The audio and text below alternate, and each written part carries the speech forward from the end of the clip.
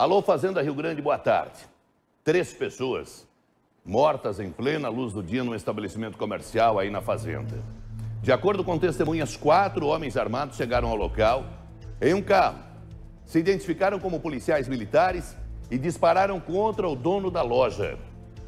Um vendedor foi atingido com dois tiros, recebeu atendimento médico e está fora de perigo. Mas outros que lá estavam no local, entre eles uma mulher, também foram executados. Uma pessoa que morreu lá era um pedreiro, gente. A informação que eu recebi, um pedreiro contratado pelo dono da loja também foi morto, não sei se de repente para não servir como testemunha. O Balanço Geral Curitiba conta para você. Nós estamos em Fazenda Rio Grande, na região metropolitana de Curitiba. Aqui é a Rua Nossa Senhora Aparecida, bairro Santa Terezinha. Três pessoas foram executadas aqui dentro dessa revenda de automóveis. Essa loja que foi inaugurada há menos de uma semana. Segundo informações da polícia, pelo menos quatro homens chegaram com um Logan branco. Eles estacionaram o carro aqui na frente. Três criminosos entraram e um teria ficado exatamente aqui no canto, dando cobertura para a ação deles. Eles sabiam o que eles queriam, eles foram direto ao dono da loja, o Temírcio Pedro Carvalho, que acabou recebendo vários tiros. Ainda infelizmente aqui a gente pode ver alguns corpos no chão e outras duas pessoas acabaram morrendo também, vítima de arma de fogo, calibre 9mm, uma mulher de cerca de 25 anos e um outro homem que estaria negociando os automóveis aqui na revenda também acabou morto. Resultado, um rapaz que trabalha aqui nesta loja acabou alvejado na perna e no braço foi encaminhado ao Hospital do Trabalhador. Detalhe, todos os atiradores estavam com pistolas 9mm e com máscaras cirúrgicas e ainda colete balístico. Tanto é que no momento da fuga, um deles acabou deixando a máscara cair aqui ao lado da viatura. A polícia vai recolher esse material e vai verificar. Detalhe, o veículo que foi usado na ação, o veículo Logan, foi encontrado em Mandirituba, uma cidade próxima aqui à Fazenda Rio Grande. Esse veículo foi encontrado carbonizado. Agora, é claro, é mais um caso para a delegacia entender aqui, a polícia de Fazenda Rio Grande, o que, que teria acontecido para ocorrer, registrar três mortes violentas no início da tarde desta segunda-feira. E chegaram identificando como policiais. Como policial de polícia, vão abordar vocês, não sei o que, mandaram todo mundo deitar no chão. E as pessoas não deitaram. Saíram correndo e já começaram a fazer disparos contra eles aí.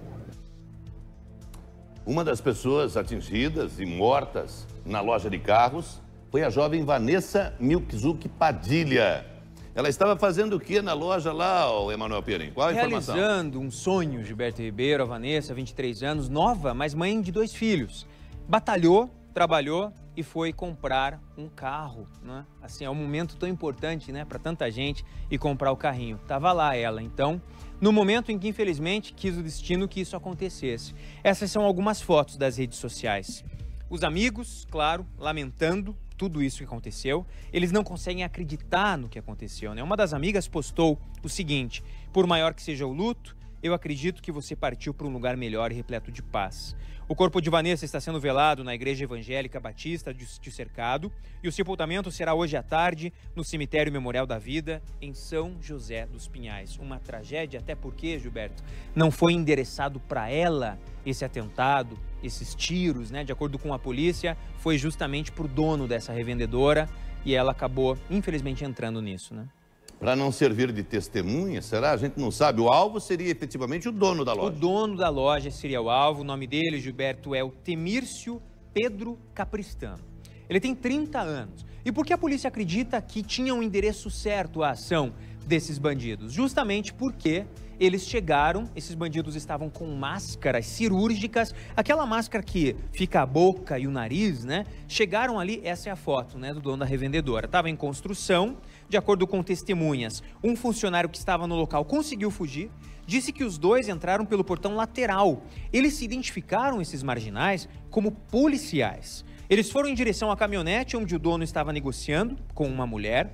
A moça, o proprietário saíram correndo, mas infelizmente acabaram sendo atingidos. E tem uma outra vítima fatal, um homem que havia acabado de comprar um carro. Ele também tentou correr, mas foi atingido. O Adão Carlos Borges da Silva, 48 anos, que era autônomo. Ou seja, famílias que hoje choram, Gilberto Ribeiro, o que ninguém imaginava, né? Que numa revendedora isso poderia acontecer em uma tarde como qualquer outra. A informação que eu recebi dos familiares do dono da loja, que me disseram assim, ele era vida torta. Ele já havia sofrido dois atentados. Duas vezes já haviam tentado contra a vida dele. Então essa moça morreu de graça. O outro homem que morreu, Emanuel Pereira, não tinha comprado o carro. Informação que a família do dono me passou. Que o outro homem que morreu, você pode ver que tem materiais de construção lá, tem tijolos, já tem o, o, o o ferro, o ferro está armado ali, pronto para construção. Foi Sim. o pedreiro que havia sido contratado para realizar uma ampliação na loja. Estava trabalhando. Trabalhando. Ali. O Adão, no caso. É, o Adão, é esse homem. Uhum. Era um pedreiro, um chefe de família que foi morto não foi perdoado. Por isso eu não acredito que seja ação de policiais. Jamais. Jamais. É. É, matar verdade... duas pessoas inocentes, o alvo seria apenas então somente o dono da loja, para que matar as é, outras duas verdade, pessoas? eles se identificaram como policiais, os Não. bandidos, entende? Mas assim, claro que era, eles só falaram isso, de acordo com testemunhas, mas logicamente não eram. Não sei, uhum. né, Gilberto? É uma coisa que agora a polícia vai investigar se esses bandidos disseram em algum momento que eram. Vamos ver como tudo aconteceu. Vamos aguardar as é. investigações. É.